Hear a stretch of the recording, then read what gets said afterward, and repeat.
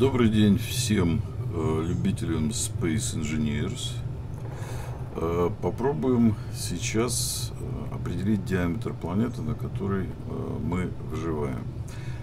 Для этого пару слов про геометрию. Условно будем считать планету сферой. И для этой сферы центр притяжения располагается, естественно, в центре. Она, будем считать, что она однородная и так далее. Тогда берем произвольную точку на поверхности этой сферы. Например, вот эту, это будет у нас наша база. И поднимаемся вертикально. Что значит вертикально? То есть вдоль э, вектора притяжения на определенное расстояние. Потом перемещаемся по диаметру в другую точку. Поднимаемся точно на такое же расстояние, ну просто для того, чтобы это потом использовать при вычислениях. И э, таким образом, так как других инструментов у нас совершенно нет, измерять расстояние э, в Space Engineer мы никак не можем, никакой лазер там рулетки там нет. А, есть только достоверные данные, которые мы получаем по меткам.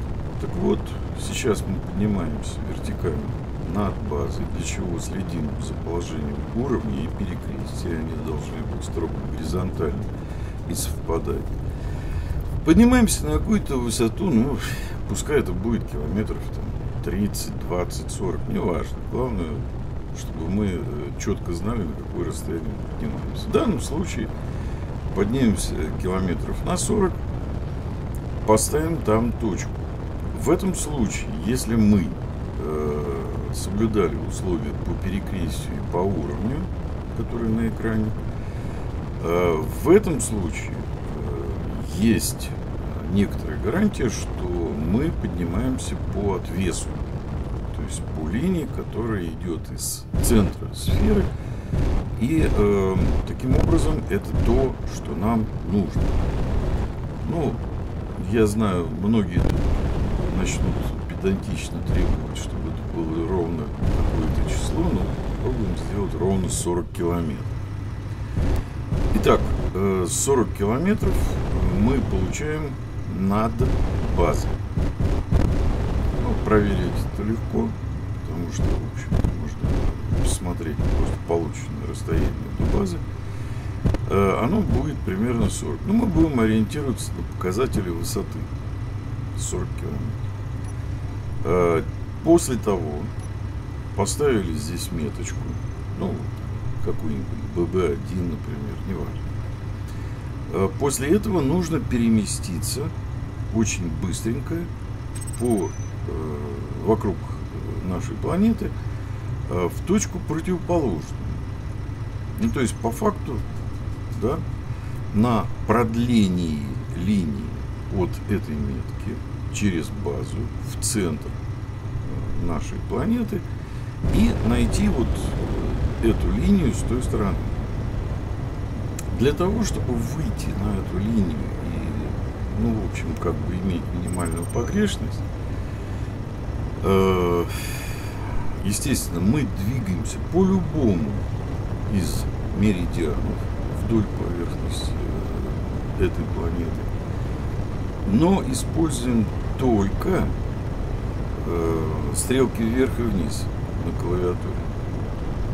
При этом мы добиваемся чего того, что у нас не будет никаких боковых смещений. Но, в принципе, можно как угодно переместиться в ту линию, которая проходит через э, базу, через метку, через центр планеты, э, это не важно. Главное, что надо каким-то образом туда попасть. Кстати, вот обратите внимание на то, что мы сейчас видим на экране. То есть э, горы высотой, ну там, 3-5 километров как правило, полтора-три, э, представляются вообще чудовищно выступающими какими-то дикими наростами на поверхности что вообще заставляет задуматься над тем, а так ли велика эта планета. Ну, забегая вперед, конечно, скажу, что она оказалась очень маленькой. Э, и, в принципе, если эту планету спроецировать на поверхность Земли, то она займет территорию меньше Москвы. Потому что диаметр этой планеты, как выяснилось, ну, в моем случае, не знаю, как в вашем, в моем случае, это всего 120 километров. Но вот сейчас мы потихонечку выйдем э, на пересечение той самой линии от метки через базу, через центр планеты и э, в нужную нам вторую точку э, и убедимся в том, что размер планеты, диаметр ее всего 120 километров. Найти вот эту вот искомую линию, э, которая соединяет точку, метку на 40 километрах над базой, базу, центр планеты условно, чтобы э, на ней, на этой линии, находясь на этой линии, подняться на нужную высоту, довольно-таки, э, ну, я бы не сказал, что сложно, просто э, мудрено. Есть пару правил, с помощью которых можно сделать вот этот поиск попроще. Э, я постарался убрать, погасить все метки, кроме базы и нашей отметки э, тега BB1, а, и если при перемещении, а, нажав В, э, выбрать вид сверху, то можно заметить, что точка BB1 относительно точки э, базы а, перемещается. И э, на самом деле она будет перемещаться в одном направлении, то есть ближе к базе, в сторону метки базы, я имею в виду тег метку BB1, или от нее. Ну, легко догадаться, что если эта метка BB1 движется к базе в проекции, то это означает, что мы приближаемся той воображаемой линии, которую мы провели из метки BB1 и нашей базы. Если же мы увидим, что эта метка удаляется от базы, значит мы пролетели немножко дальше, чем нужно. Э, ну, на экранчике не очень хорошо видно, но на самом деле мы сейчас уже э, вблизи этой воображаемой линии, а, ну, условно, если присмотреться, видно BB1 и GeoBase. Вот я немножко сдвинулся назад, чтобы все-таки они как-то стали поближе. Хотя, большому счету, нужно еще и сдвинуться немного э, в сторону, для того, чтобы они полностью совместились. Но я вас уверяю, вот эта погрешность в нашем случае, но не даст ощутимого отличия. Ну, максимум там, один километр, может быть, один километр погрешности вот такого измерения. А, я еще раз говорю, вот странно, но в Space Engineers нет возможности как-то по-другому измерить э, расстояние до какого-то объекта, кроме как поставив там метку. А, для меня это не просто странно, но еще и совершенно непонятно, а чем руководствовались разработчики, когда э, лишили нас э, такой возможности. Э, есть перекрестие, направил перекрестие на объект, нажал горячую клавишу, получил расстояние. Тем более, что в игре это элементарно, на мой взгляд не написал ничего подобного, на мой взгляд, это достаточно просто. Э, точно так же совершенно не важно, в каком режиме, э, ну, сохраниться всегда не помешает, потому что неизвестно, что там сверху, может быть астероид, вот, чтобы не начинать все снова, я решил сохраниться. Кстати, все это происходит в режиме выживания, потому что в творческой студии, ну, я как-то не использую. Э, творческую студию я использовал, помнится, один раз. Да, один раз я ее использовал для того, чтобы замостить э, легкими блоками территорию своей базы. Ну, потому что там есть по площади, там, по линии и так далее. Но я считаю, что использовать творческую студию можно, но только в видеоблоге, если кто-то что-то хочет рассказать кому-то. Э, во всех остальных случаях ну, как-то это не, на мой взгляд, неинтересно и некрасиво. Потому что там ну, можно многое, э, чего в режиме выживания не сделать. Вот. Для чистоты эксперимента сейчас все производится режиме выживания. Ну и как во, во всех остальных случаях, когда я э, что-то там такое вам показываю. Э, если сейчас присмотреться к меткам, да, то уже можно заметить какие-то цифры. Ну, э, вот поставил я метку еще там, BB2. И сейчас попытаемся рассмотреть все-таки, каково расстояние до базы и до э, метки BB1. Но неизвестный там сигнал, конечно, будет нам мешать ужасно. Но ничего, попробуем все-таки разглядеть. Э, если присмотреться, то видно, что до базы 161, а до метки BB1 201 километр. Итого получается, между двумя метками BB1 и BB2 у нас 201 километр.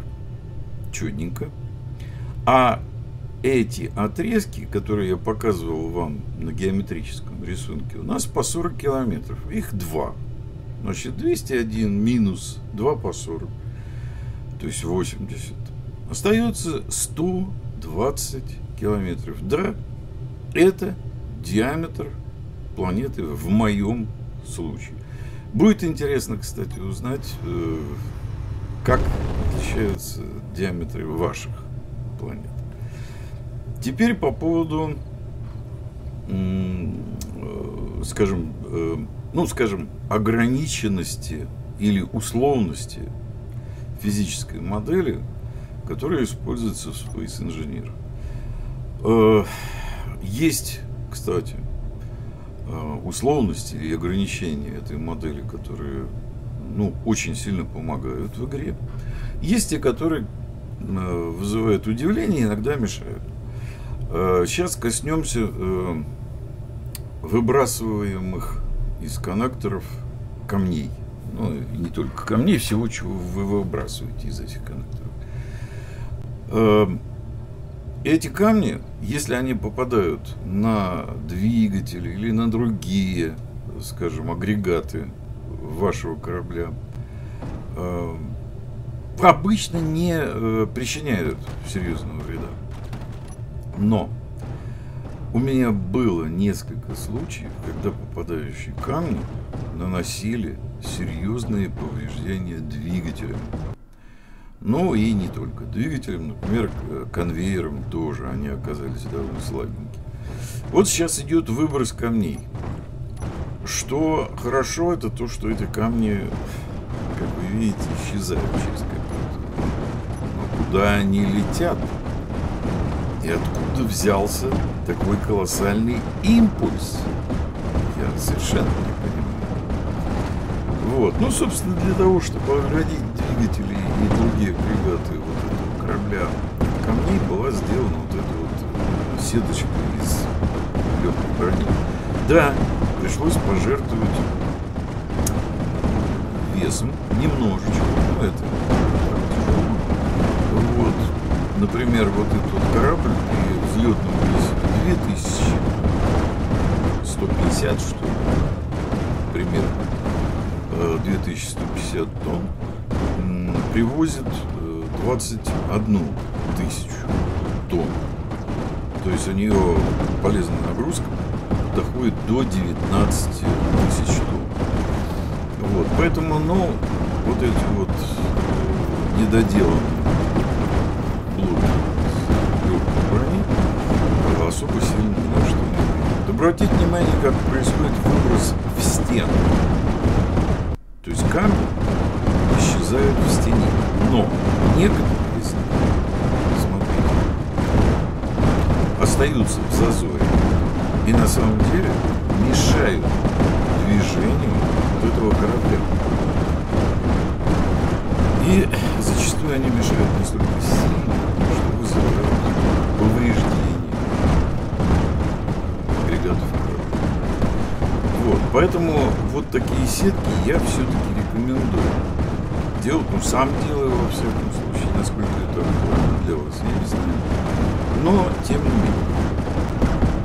Э, другое дело, то, что э, видите, что произошло. Камни зацепили, и корабль э, накренился. Это нужно учитывать. И при добыче я э, советую все-таки выключать выбрасыватели для того, чтобы избежать повреждений э, самого корабля. Ну, вот здесь хорошо видно, как эти камешки э, исчезают. Э, но замечена некоторая странность. То есть часть камней, например, которые попадают на поверхность вашего корабля, ну, назовем это, пускай комбайн это называется, да, а, они там э, сидят очень долго, практически неограниченно долго, э, и порой вызывают какой-то странный гремящий звук. Если вот э, наклонять корабль вправо-влево, ну, в данном случае как бы все обошлось. Ничто там не гремит, Э, но бывает так, что они перекатывают по полу э, этого корабля неограниченно долго.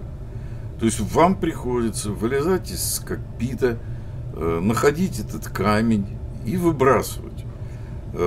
Потому что если это не сделать, то Бог знает, какие проблемы он может вызвать, какие объекты он может повредить.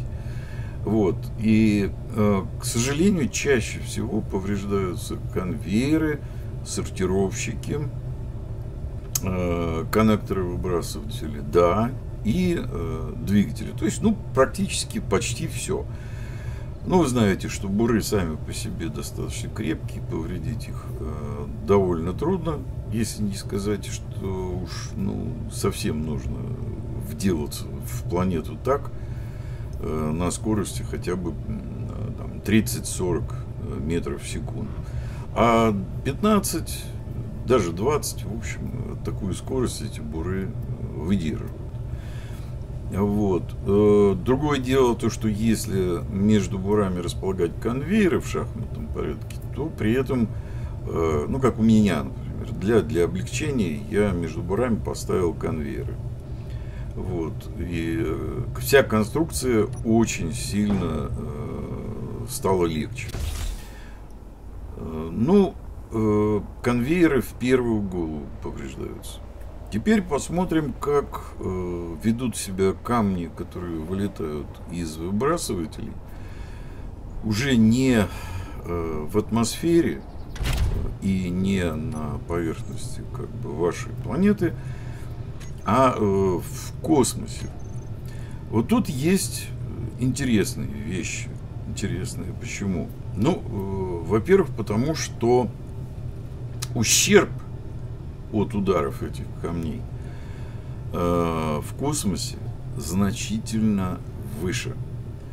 У вас обязательно что-нибудь загорится, если вы будете во время добычи включать выбрасыватели. Обязательно э, корабль получит какие-нибудь повреждения. Поэтому я еще раз, я, ну, на собственном опыте в той среде, в которой я играю, я э, рекомендую все-таки выключать выбрасыватели при добыче. проходка, но, то есть, когда вы включаете буры и двигаетесь, не собирая материал, проходка, она э, всегда как бы неважно.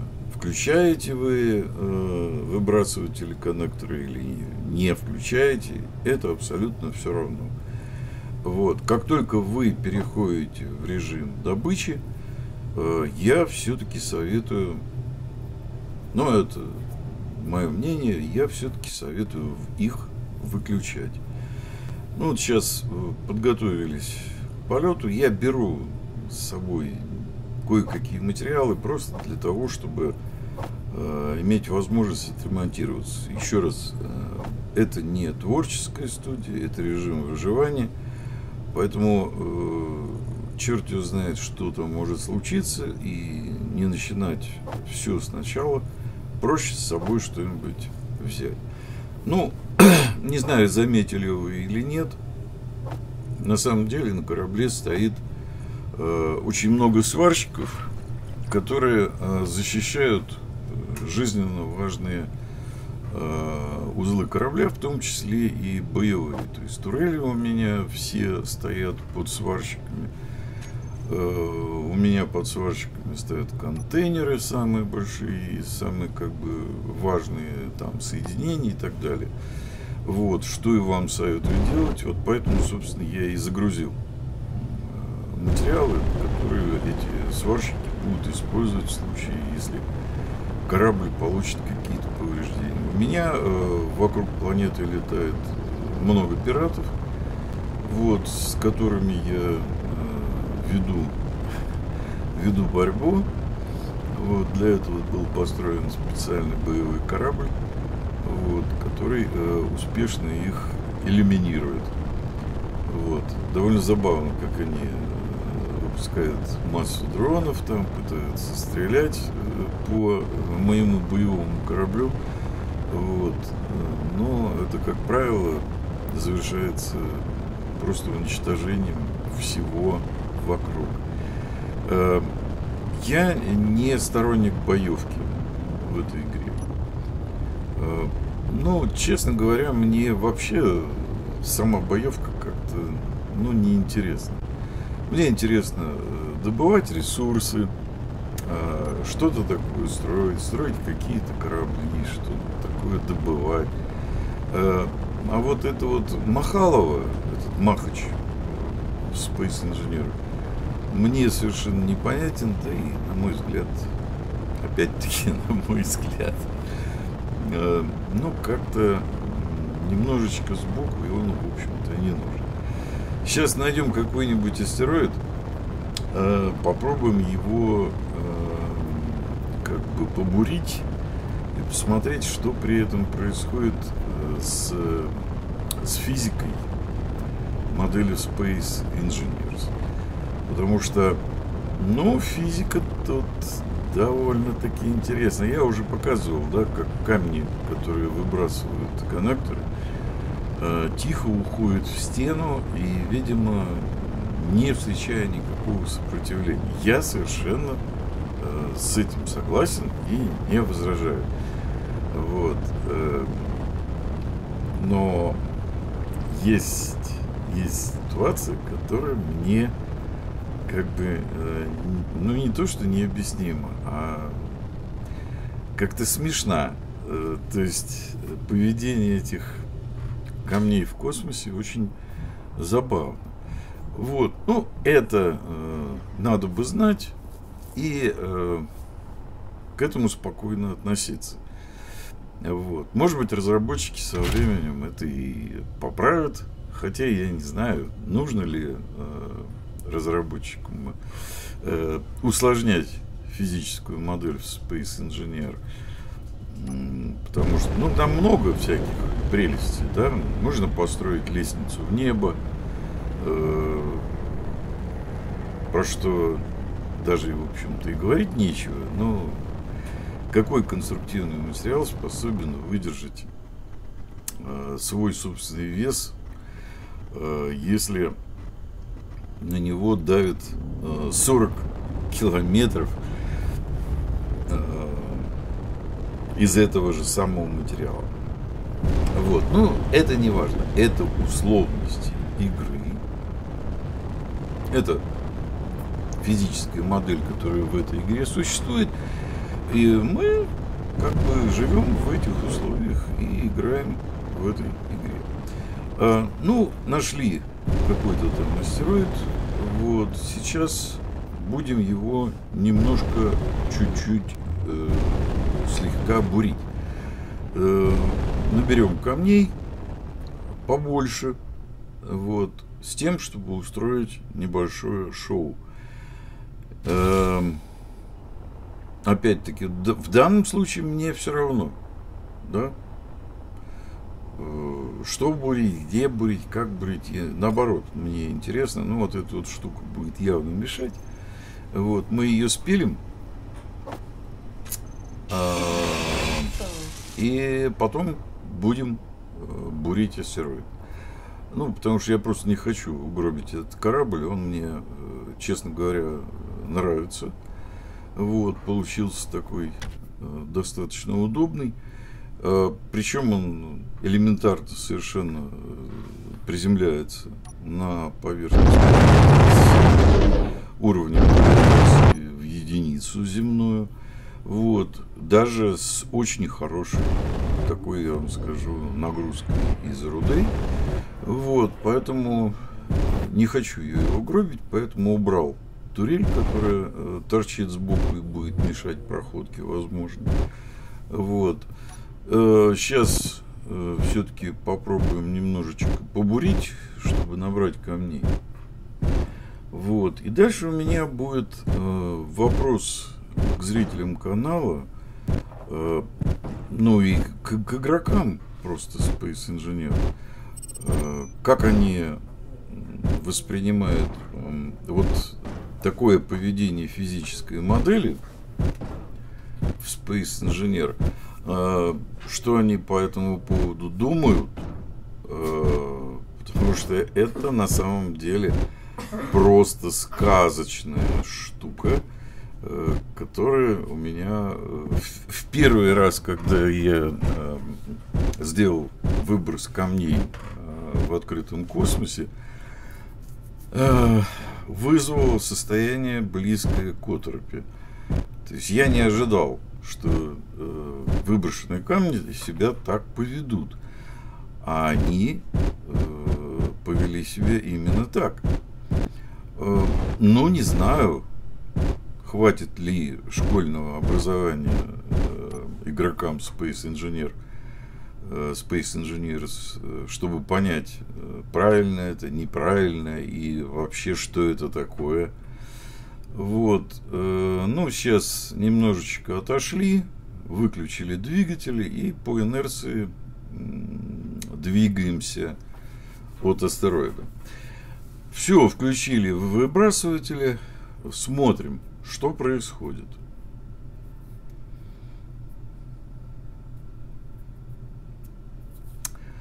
Камни выталкиваются выбрасывателями. Прошу прощения. И вот дальше происходит нечто удивительное. Помните, сколько заставок э, при входе в игру э, посвящено э, классической механике?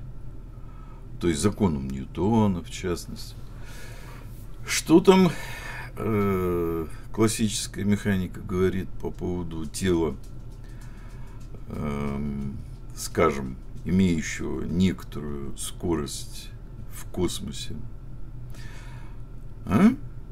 что это тело будет сохранять вот вектор скорости сколь угодно долго, если не будет внешнего воздействия. Ну, не будет притяжения других объектов или не будет э, возмущающих импульсов, э, возмущающих это, влияющих на это движение импульсов силы, да. Так вот, камешки, которые выталкиваются ведут себя как какие-то песчинки в сиропе. А как они должны были вылетать из этих э, коннекторов выбрасывателей? Да просто, тупо, в разные стороны, сохраняя скорость корабля, который прибавляется еще импульс на выбрасывание. Значит, они никак не могли оставаться вот здесь, как мухи в сиропе, застряли и никуда не двигаются, а должны были лететь, продолжать лететь далеко-далеко от этого кораблика, сохраняя его скорость, плюс импульс выбрасыватель. Ну, э, мне это не очень нравится. Почему? Потому что зачастую происходит столкновение вот э, с этими камнями. Хотя, на самом деле, если они бы летели э, вот так, как я говорил, и так, как положено по классической механике, то неизвестно, что было бы лучше. Потому что они бы отлетали довольно далеко, эм, и натолкнуться на этот космический мусор, пока он не исчез. Это было бы тоже очень забавно, вызвало бы повреждение кораблей. Ну, вам виднее, нравится вам это или нет. Всего доброго.